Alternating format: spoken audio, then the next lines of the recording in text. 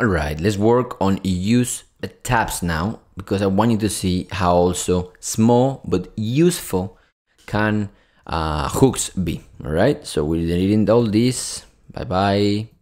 See you. All right. And now let's say that I have something from the API coming or whatever, and that will be my content, right? And here I will do maybe the first one will be tab and that will be I don't know section section one. And then this is the content. And then I am the content of the tab of the section one right? We copy paste this to section 2 I am the content of section 2 all right? And now let's make uh, let's make two buttons section 1 and section 2 okay? So here let's do content that map and that will be section whatever. And let's make a button maybe a little bit bigger better. Let's make a button that has section dot tab. So now if we save this you will see let me kill the css because it's centering stuff. Section 1 section 2 all right with the buttons here. Very very simple. We're doing nothing now what i want is to only show the content of the section that is currently selected. So for example, at the beginning, we're going to load the um, the content of section 1, for example, and then when we click section 2, I want to automatically switch to um, the content of section 2, all right? That's something I want to do. So how do we go and do that? Actually with hooks, is a pretty straightforward and simple solution. So let's create here const use tabs right? And this is going to get the default, no, the initial tab, right? And what else? And the, and all tabs or all sections, whatever you want to call that. Now here, what I'm going to do is say current, current index, and here set index, or let's be more precise, set current index.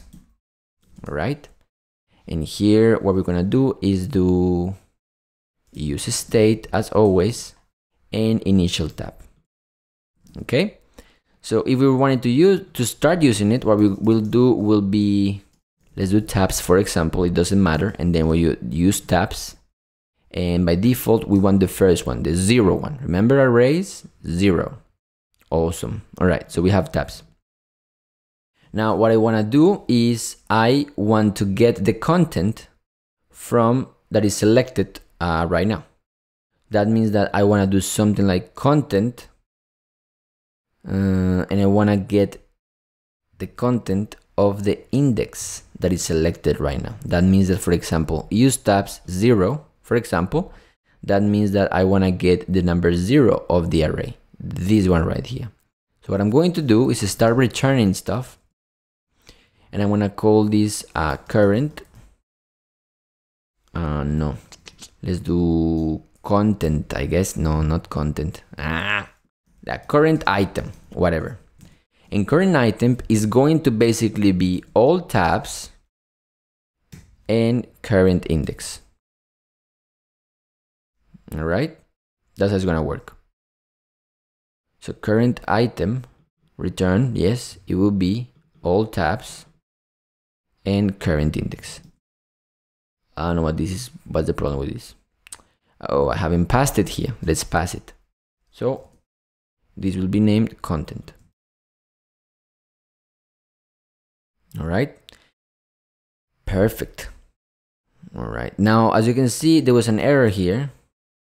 So what I'm going to do is actually check for that error at the beginning of the function if not all tabs or uh, not all tabs is is it is array? Is array mdn array that is array. Uh-huh. So i will do array that is array all tabs then I'm gonna return and kill the function right there. All right, so as you can see now, there is no tabs and the function is not complaining because I'm killing it here. All right, we're just falling silently, failing silently, not falling, failing. And we need to say that if it's not an array, I forgot about this. If it's not an array, then we return. All right, if it's not an array. Now, as you can see here, we are returning, let me just put the content here to all the tabs, all right? As you can see here, we're returning the, con the current item. So that is basically all tabs and zero because the first tab is zero.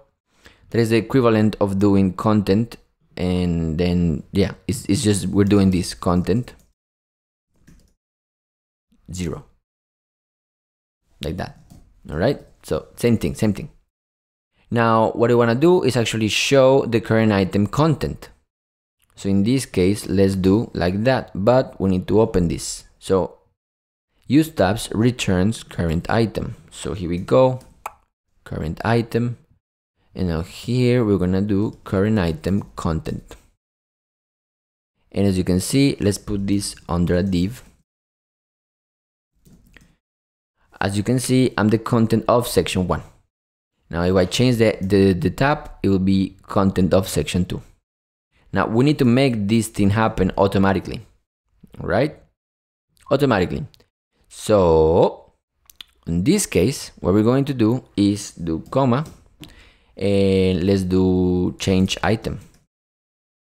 And what change item is going to do is basically set current index.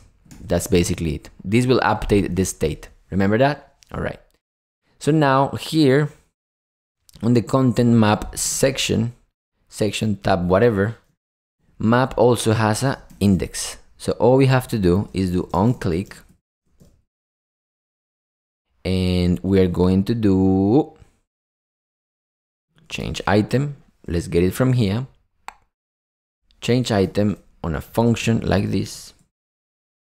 Change item index. Now what should happen is that sec uh, and index will be 0 and 1 and all the buttons will have an on click. And when somebody clicks them we're going to change the item to whatever their index is which is 0 and 1 and that will be change item which is set current index which changes the state. So it changes current item to the new index here. So it refreshes everything. All right? So now we can do there we go. Look at that. Done. Freaking working. Look at that beauty. Unbelievable. That's how easy it was. That was use tabs. We're just practicing um, use state. I just want to show you how easy it is to work with use state because you need to remember always, always, always use state is like this state and this set state refreshes everything and it re-renders again just because there is no render function doesn't mean nothing is re-rendered. This is just a proof that everything is being re-rendered again. All right. Um, I think we're gonna stop working with use state because it's not so exciting. We need to move on to the next one, which is use effect. But I think this is okay. This is exciting. It's all right. It's very useful as well. All right. Let's make. Uh, I'm gonna copy paste this on the VS Code, and I will see you on the next one. Bye bye.